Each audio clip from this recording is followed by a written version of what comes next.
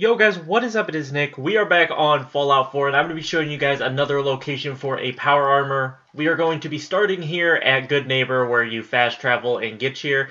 Uh, you will also, um, to get this power armor, you will be needing to do the Big Dig quest, I believe. I'm like 99% sure you need to be doing the Big Dig quest for this. So what you're going to want to do is you're going to want to come this way from where you initially get spawned in here.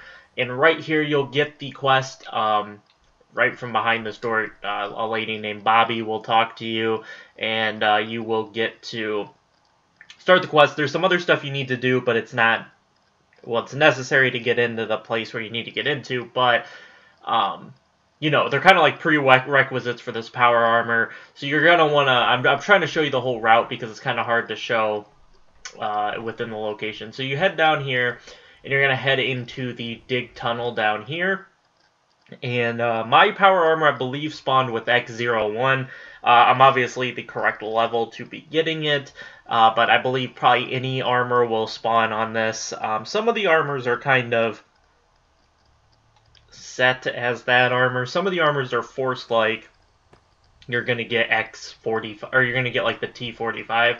Uh, but what you're going to want to come down, you'll have this robot drilling holes for you. So you'll come down here and you'll wrap all the way around here. You're going to head now this way. There's only one route through most of this, so it's not really that hard. Then you're going to get to this room. Uh, you'll have the option to, option to open this area, which is not the area you want to open. You want to go this way. You'll have to fight this Mirelurk King right here, and then right here will be your power armor. Uh, see, I got X01 left leg and X01 Mark II torso. Um, Crap, I did not want to do that. I'm just going to go ahead and take this. I'm in a power right now. I'm actually in my Mark V X01, and there are those blue eyes. You guys know I told you about how the headlamp changes the eye color. It is working for me now, so there is that. Go ahead and just take that stuff. I'm not overweight, so I don't need the XO. You can also just buy unlimited exoskeletons, so I'm not really too worried about those taking that since I'm in this power armor. I'm not going to worry about coming back to get it.